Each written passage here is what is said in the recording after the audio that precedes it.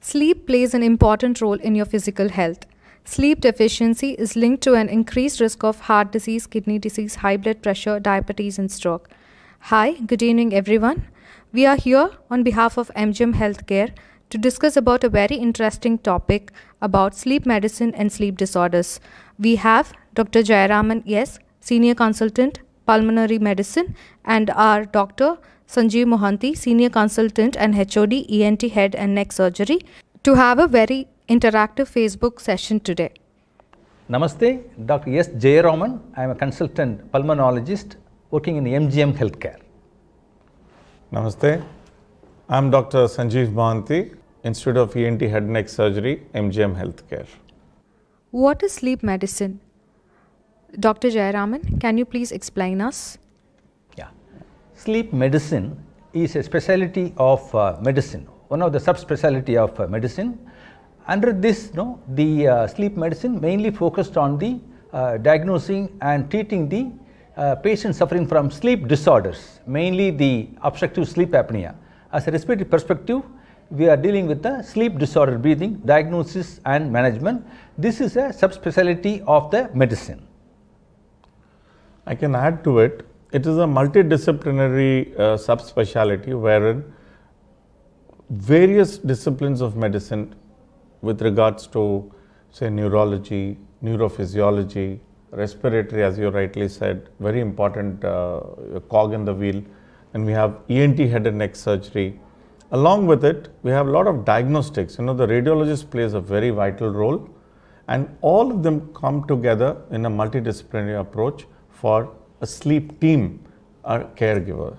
So I hope that answers your question.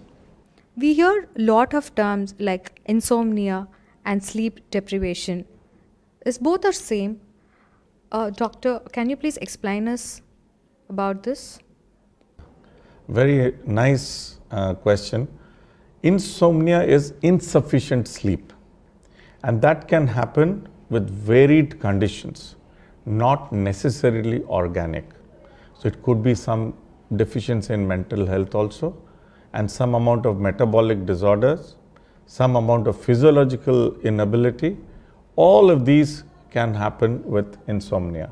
But when it comes to sleep deprivation, that is voluntarily a patient is working so much that he is not able to get that the typical we said one third of our life we end up sleeping if we don't get that 6 to 8 hours of rest for the body to you know recalibrate and re-jerk the next day into the uh, complete working mode that is sleep deprivation and these lead to a lot of lifestyle diseases I think Dr. Jayaraman, you can yes, add to. Dr. Mohanty sir, well said about the uh, sleep deprivation and insomnia. Insomnia, lack of sleep or inability to get, to get a proper sleep in proper timings. There are a lot of uh, causes for insomnia, primary causes, secondary causes. Secondary causes are many, any bodily symptoms, any stress related, are a lot of causes. Primary, we don't know exact etiology. But the sleep deprivation means uh, that means uh, um, insufficient. That is, a, we are not uh, no, giving the uh, time for sleeping because of traveling and mainly the travel purposes, work purposes. So we'll uh, no postpone the sleep or reduce the sleep timing. So we have to wake up in the early morning, four o'clock to catch a flight. So we are reducing the sleep timing from no, uh, eight hours to six hours. This is sleep deprivation. So in that sleep deprivation, so patient can be able to sleep but insomnia people, they are not able to sleep properly, lack of sleep or unable to get a sleep. So sleep deprivation means the time, the, the, because of the less time to spend for the sleep by the person. Insomnia means lack of sleep, inadequate sleep. So patient, uh, person is going to bed, is not able to get the proper sleep. It take uh, know, two, three hours later only get a sleep. Or a patient wake up at early morning, so after that there no sleep. This is insomnia and this is sleep deprivation. Sleep deprivation because of the traveling and work related issues. But insomnia is the uh, primary and secondary insomnia, the lot of uh, you know, multi causes, so it addressed properly. I'll just add to it. Uh, in between, there is something called fragmented sleep. That means you sleep and you're not able to continue the quantum of sleep that you require. That could be due to causes which needs medical attention. We need to know whether it is a part of a real ongoing problem inside your body or there is something else which also needs a course correction with regards to a slightly different kind of methodology, which we all know. All of us go through a little bit of crisis in life as we call mental health. So that needs to be taken into account also with regards to all of this uh, inability to continue a good quality of sleep. How can a general public be aware of what is sleep disorders and is there are any common sleep disorders? Doctor, can you please explain us on this? Yeah, the we as a respiratory doctor and ENT uh, specialist doctors, we come across a lot of patients uh, with the sleep disordered breathing. Sleep disordered breathing is one of the important common uh, sleep disorder. The common symptomatology of the sleep disordered breathing is the snoring during sleep. So, snoring you all know well, this is an abnormal mainly inspiratory sound while sleeping because of the upper airway obstruction. Upper airway means behind the nose, behind the tongue, behind the palate, there is a soft, smooth muscle narrowing which leads to uh, snoring. That also, majority of the patients we see habitual snorers, daily snoring. This is one of the important symptom of obstructive sleep apnea. Apart from this snoring, patient pet partner usually say, spouse, husband means wife, wife, no husband. So they say usually, doctor, my husband is having a heavy sound while sleeping, and suddenly he is, uh, you know, uh, waking up from the bed, doctor. So there is a choking sensation and a gasping sensation. Usually this, uh, know, um, this is the bed partner. We have to ask the bed partner how is the sleep pattern. They usually tell like this: uh, snoring, gasping, or choking during sleep. And daytime they feel, uh, no, uh, again tired, feeling sleepy, and daytime excessive sleepiness. And female population, they have a tendency to have developing headache. These are the common symptomatology of the sleep disordered breathing. I will add to uh, whatever spectrum that you have already elucidated. It is also to factor in the daytime somnolence, like because they are not able to have nocturnal sleep, if they sleep in the morning and make up those eight hours or six hours, that necessarily does not mean he is okay. A human being has to sleep in the night until unless they are on a night duty continuously for years together. So the sleep cycle changes.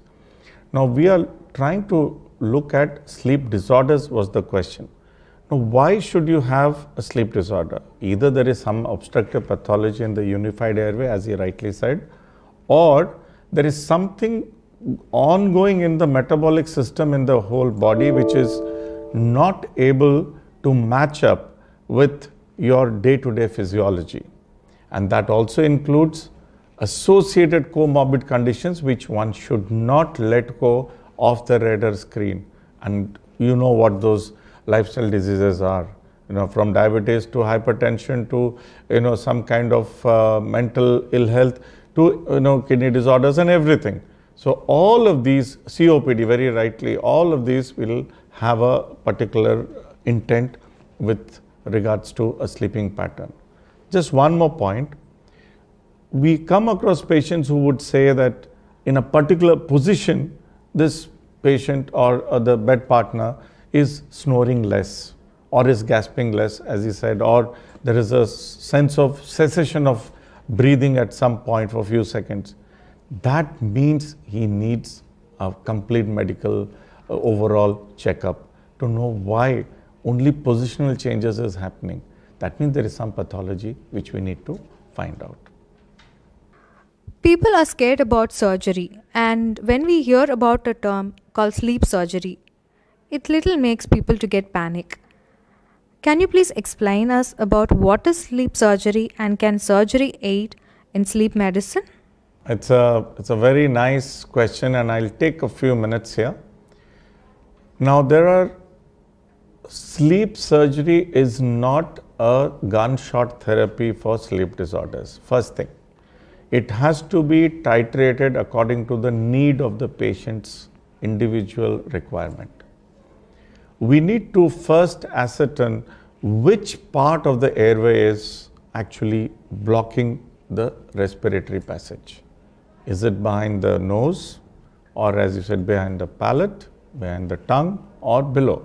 Sometimes there is a static problem that means like the excessively deviated septum, there's an allergic uh, component to it, there are polyps. All of these contribute, adenoids, huge tonsils, all these contribute. But even without that, there is sometimes the collapsibility of the airway also requires an attention to find out which level of obstruction in the airway. And if it's single level or multiple levels, we need to find out where is the problem. And based on those requirements, different surgical requirements or needs are also charted. And nowadays we have some very nice innovative surgeries, but only associated with again a lifestyle changes. Only surgery will never work. So I tell them a rule of three. One third the surgeon's requirement, one third the surgery per se, and one third the patient profiling. The patient has to undergo a lot of counseling to make sure the body mass index is within normal limits. They should be having a lifestyle changes, proper eating habits, good little activity, along with it, different surgical requirements for that particular ailment. And then we need to have a proper follow up. These are the things that we know. And without assessing where is the problem with a good formatted sleep study, which he is going to talk about, and along with the radiological evidence, one should not aimlessly go for a surgery without any proper investigation. So, in my practice, I would say probably 10% of them of the total sleep profile uh, patients require surgery and they are very good. If properly selected patients, they do wonderfully well. We have a very good partnership and I think in the last two years we've done close to 100 and out of that, maybe I would have seen some close to three, 400 patients, but only maybe 20% have operated and they are doing well. I think you Very will add to Dr. it. Dr. Mohan sir well said about the uh, role of uh, no, the sleep surgery in uh, uh, sleep disorders. So, sleep disorder breathing occurs in children also. The commonest cause of uh, no, pediatric children uh, suffering from the no, obstructive sleep apnea is the enlargement hypertrophy of the tonsils and adenoids. So, we are seeing frequently patients with the uh, no, children's school going children with the loud snoring daily and open mouth breathing, dryness of mouth and daytime they feel very tired, sleepy in the classroom. So, a lot of patients we are seeing directly after seeing this patient put the torchlight in the oral, oral cavity, we will see the enlargement of tonsils with the culprit behind that. Immediately we send the patient to the uh, Professor Sanjeev Mohanty sir for the adenotonsillectomy surgery.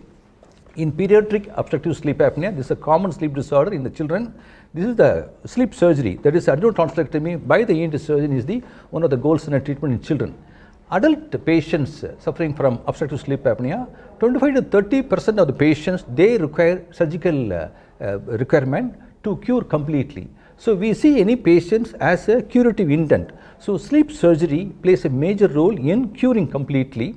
So, we as a sleep medicine specialist, we give a long term treatment, correction of hypothyroidism, obesity correction and also we have a bariatric surgery is there. Bariatric surgery also one part of the, uh, the sleep surgery and we have a mandibulo maxillary advancement osteotomy surgeries are there. So, these are the kind of uh, sleep uh, surgery for treating the patient suffering from sleep disorder breathing, mainly the obstructive sleep apnea. So, there are a lot of interesting facts and information that was provided by our doctors.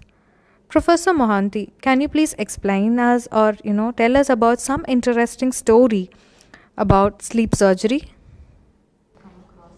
You can see the smile on my face because there are many stories, but one which comes to mind very uh, succinctly now in the present context is uh, a story of a young pilot who got his training in Arizona, came back to India, went into uh, this Indigo pilot uh, training program. And he was a mama's boy. He just used to be with his mom. And one day, desperately, he was a little obese, but uh, he came with his mom and said, uh, the mom said, I just can't sleep in the house with my son around. So we were, I was wondering why. He said, not only does he bray like a donkey, I cannot sleep myself. My, I'm going to, uh, you know, have a disease of sleep disorder.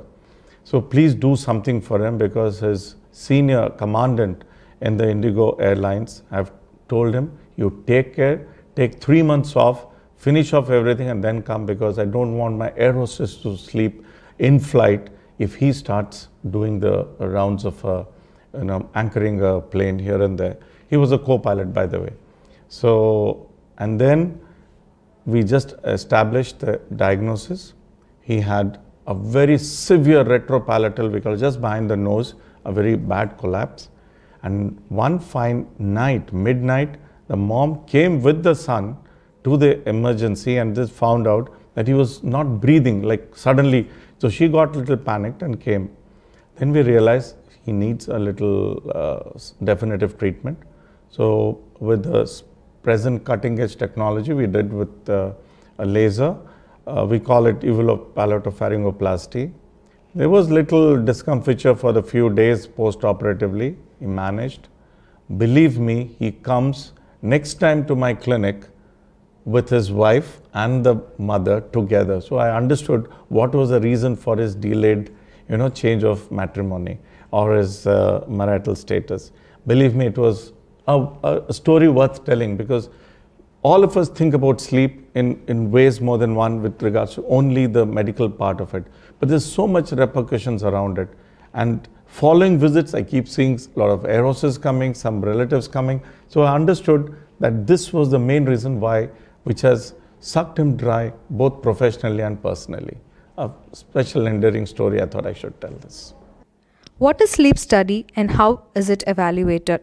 Dr. Jayaraman, can you please explain us, sir? Yeah. Recently, we come across one uh, seven-year-old boy came to me with a history of a recurrent cough and cold.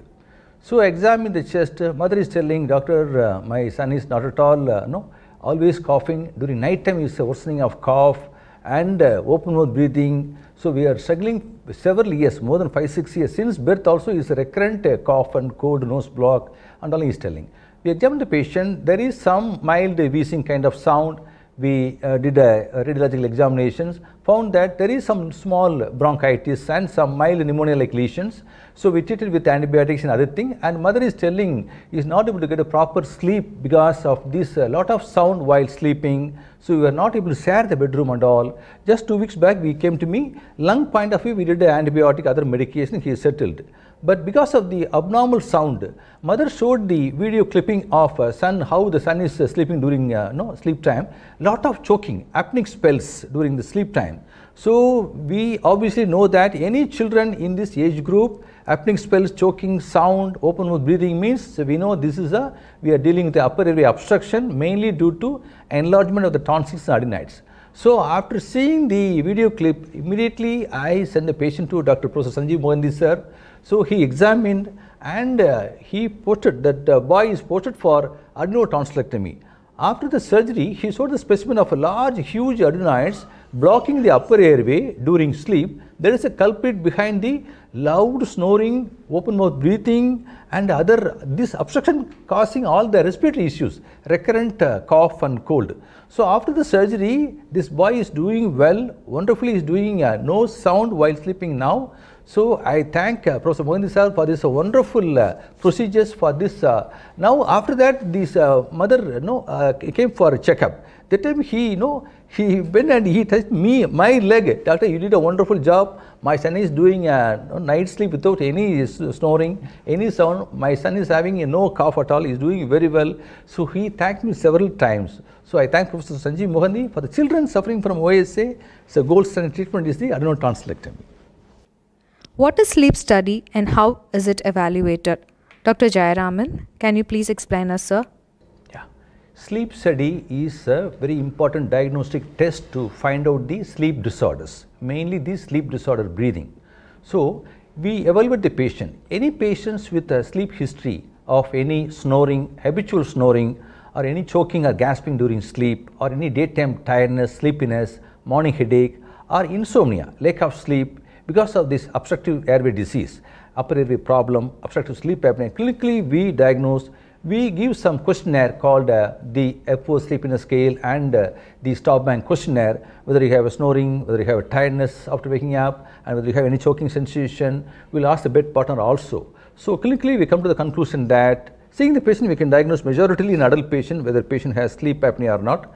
But confirmation, the gold standard test to confirm whether patient suffering from what kind of sleep disorder, what uh, kind of uh, severity, whether it's a mild, moderate, severe. For that, uh, we have one uh, gold standard test to confirm sleep disorder is the sleep study or sleep test. So medical term is the polysomnography. So in the polysomnography, we record the sleeping pattern. This is an overnight study, single night study. So we have several kind of studies are available. Level 1 a level 2 sleep study, we do it in the hospital setting. Nowadays we are doing a level 3 study or home sleep study or portable study. So we can uh, do it at home or in the hotel room or in the bedside in the hospital we can do the level 3 sleep study. In the sleep study we attach the small pager like gadgets in the chest. It will record the uh, breathing, snoring, oxygen and the airflow everything and we keep one small pulse oximeter probe in the hand. This probe is attached in the chest recorder and we have one disposable nasal cannula in the nostril part. This will assess the airflow and snoring. So this is simple level 3 sleep study. This is a respiratory channel sleep study. We can diagnose the sleep disorder. This recording during normal sleep will record. Technicians will go home and attach and give the instructions and will go home. So patient can sleep normally you can take and turn any side in the bed. In between, uh, patient can go to the restroom and come back. So normal activity. During routine uh, sleeping, we'll do the sleep recording. Sleeping pattern we'll record, breathing pattern, snoring pattern, oxygen pattern, and the respiratory movement pattern. Everything it will record silent manner. So next day morning, once patient wake up from the bed, we download in the computer and see all the patterns. From the pattern, we know that whether patient having a sleep disorder breathing what kind of sleep apnea, is it obstructive sleep apnea or central or mixed and we know that severity whether mild, moderate, severe. So based on this sleep study, this is a confirmatory test, gold standard test. After the confirmation of the sleep study, treatment is a multimodality. Already Professor Mohanty sir said, depends upon the patient clinical condition, stage, duration. We do the medical treatment and uh, surgical treatment and other modality of the treatment. So sleep study, polysomnography is one of the gold standard test to confirm the sleep disorder breathing. I will just add to it, this is the gold standard for sure. Uh, there is, there are two other aspects which we need to know. This is the general overall to distinguish a central versus a peripheral or a, uh, or some obstructive pathology in the sleep disordered uh, breathing pattern. But in addition to this, where if at all we have a doubt, a diagnostic endoscopy is an extremely important tool along with the polysomnography.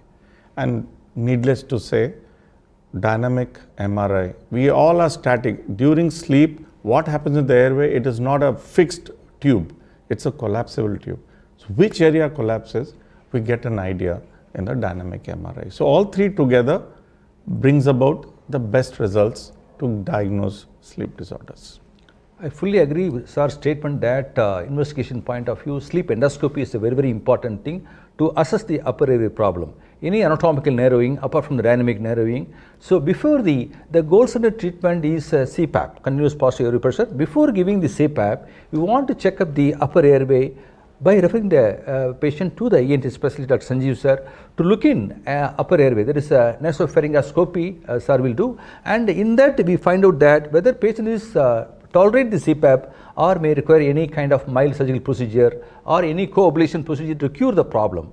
So, investigation point of view, sleep endoscopy is a very important uh, uh, investigation and the dynamic MRI also very, very important thing. I fully agree with our statement. Why is sleep clinic launched at MGM? Doctors, can you please help us? What is sleep clinic and why MGM? Okay, why sleep clinic? There are hundreds of clinics. It's like the old story of everybody, nobody, somebody, anybody.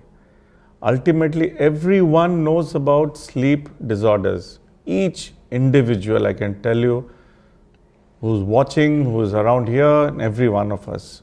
At some point in life, we have had sleep deprivation. But where to go to? If they go to a general physician, they would map out all the comorbidities and see whether this is the reason for your sleep. You go to your parents, they'll say because you're stressed out. You go to ENT surgeon, they will say there is a blockage in the airway somewhere. Go to the pulmonologist, they will say there is something wrong in the tracheobronchial tree or the lungs. You go to the neurologist, they will say something wrong upstairs. If you go to a psychiatrist, something wrong beyond upstairs. So like that, it is different, different varieties. So to bring all the clinicians with a central theme of treating sleep deprivation and sleep disorders or sleep disordered breathing disorders are all put in one roof and that is called sleep clinic. There is no captain or there is no vice captain here.